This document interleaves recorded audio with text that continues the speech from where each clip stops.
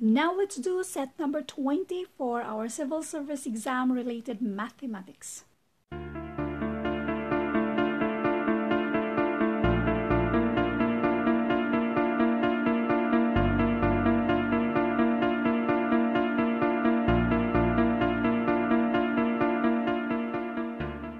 Number 1, 6 over 7 plus 4 over 5. Addition of fractions. So, ang gagawin natin ay hanapan natin ng pareho ang denominators. Least common denominator. Mayroon tayong separate video on that kung paano hanapin yung least common denominator. Ang least common denominator dito ay 35.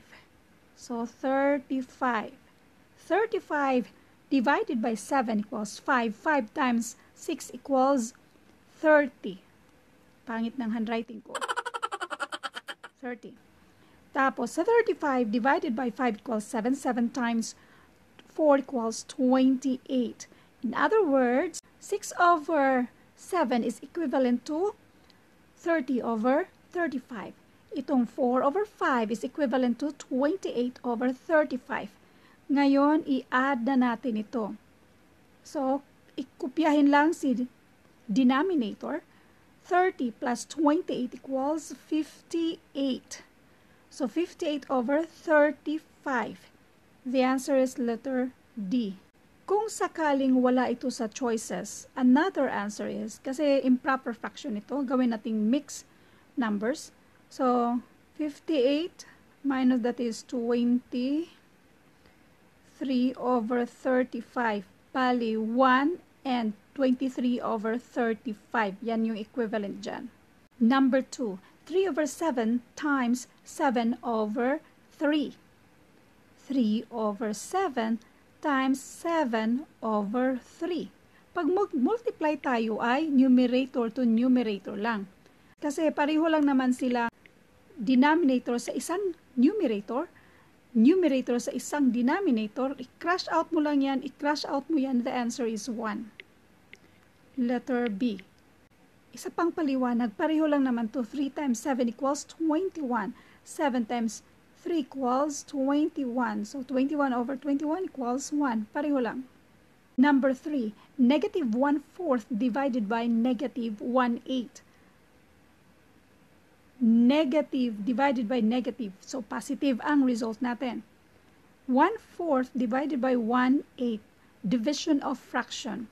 So, itong dividend, 1-4 pa rin. At itong multipli uh, division maging multiplication at si 1-8 reciprocal niya.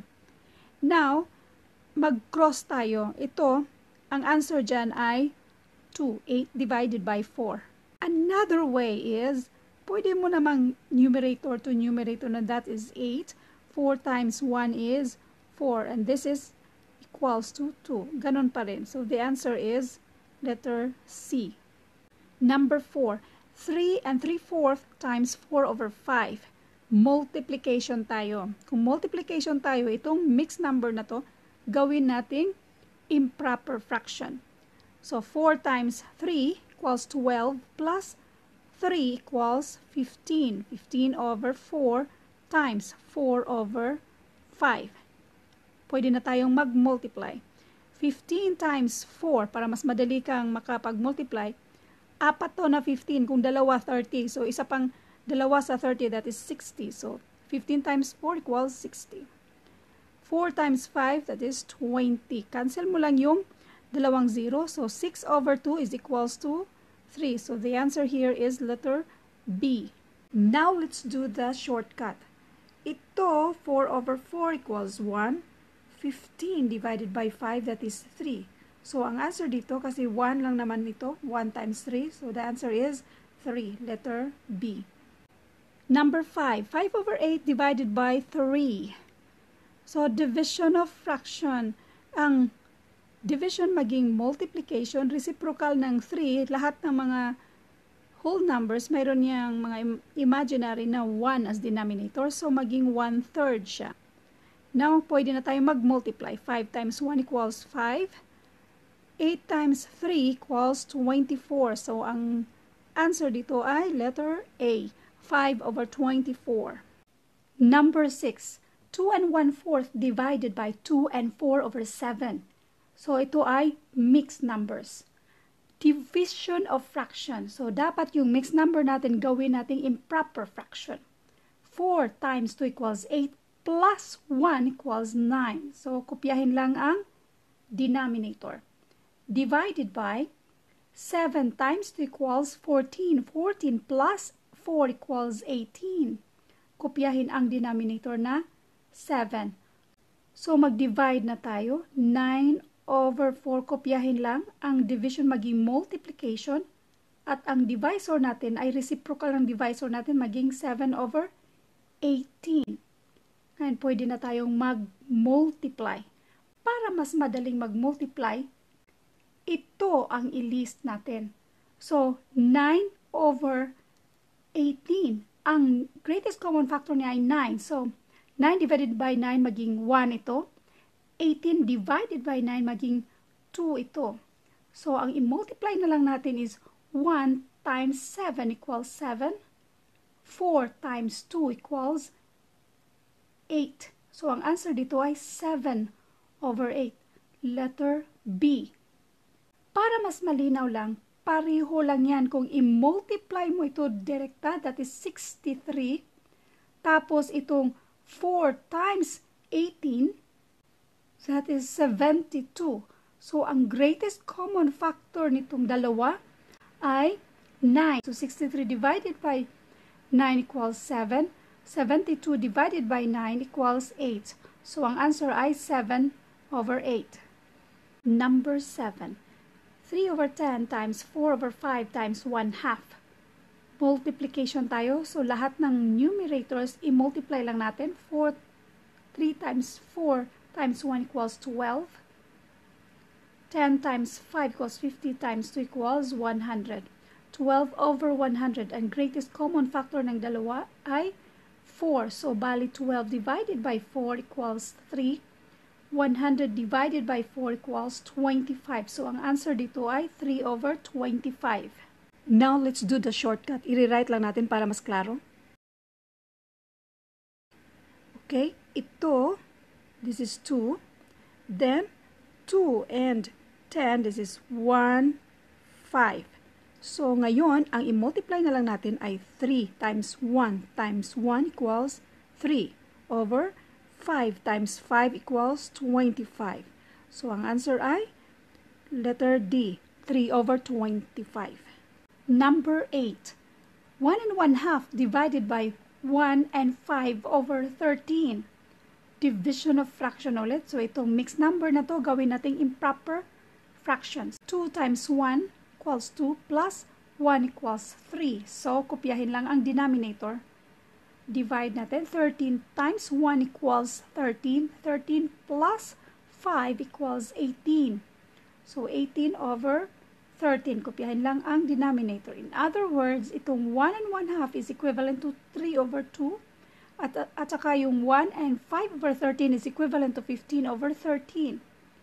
Now, mag-divide tayo. Ito, kopyahin lang 3 over 2 sa division maging multiplication at reciprocal nito maging 13 over 18. Tapos, gaya ng ginawa natin kanina, i-shortcut natin itong 3 at saka yung 18. So, ang greatest common factor niya ay 3. 3 divided by 3 equals 1. 18 divided by 3 equals 6. So, ito na ang i-multiply natin. 1 times 13 equals 13. 2 times 6 equals 12. So, 13 over 12. Ito ay improper fraction. Gawin nating mixed number. Kasi sa mga choices naman ay mixed numbers. So, this is 13 divided by 12 is 1 and 1 over 12. Barli ito yung remainder. So, ang answer dito ay 1 and 1 over 12. Letter B. Number 9. 2 and 1 third plus 1 and 1 14 times 1 and 4 over 5 multiplication of fraction. So, itong mixed numbers, gawin nating improper fraction. 3 times 2 equals 6 plus 1 equals 7. Kopyahin ang denominator. 14 times 1 equals 14 plus 1 equals 15. Kopyahin ang denominator. 5 times 1 equals 5. 5, 5 plus 4 equals 9. Kopyahin ang denominator. Ngayon, pwede na nating i-multiply lahat. Para ma-shortcut lang, magpares tayo. Ito, pwede siyang 1 at saka 2. Okay? 7 over 14 is the same as 1 and 2. Ito namang si 15, 15 divided by 3 is 5. So, wala na siya, 5 na lang dyan. Ito namang si 5 na, at saka si 5 ay 1 na lang siya. 1 na lang equivalent niya. Ngayon, ang i-multiply na lang natin ay ito. 1 times 1 equals 1 times 9 equals 9. Tapos, ito na lang 2 ang ilagay mo sa denominator. So, ang answer ay 9 over 2. Itong 9 over 2, gawin nating uh, mixed numbers. And this is ilang 2? 4 and 1 half. So, ang answer dito ay letter D, 4 and 1 half. Para sa nalilito sa ginawa ko, itong mga ginawa ko ay mga shortcuts yan. Itong 7 over 3, 15 over 14, at saka yung 9 over 5, sinushortcut ko lang siya. Pinagsama ko sila lahat, kaya naging ito na lang ang i-multiply natin yung 1 times 1 plus itong 9 times 9. Tapos 2 na lang ang natira, kaya 9 over 2. Otherwise, kung i-multiply mo ito, 7 times 15 times 9, malaking number yan, 945. Tapos over itong 4, 3 times 14 times 5, and that is 210. So, malaking number para i-think mo pa, i-divide mo pa kung uh, ano ang answer. And although it is 4, 4 over 1 half, pero medyo matagalan ka na, ito, mas madali na siyang gawin. Number 10, 2 over 5 times 3 over 7. So, i-multiply mo lang yan. That is 6. 5 times 7 equals 35. So, ang answer dito ay 6 over 35. Letter A.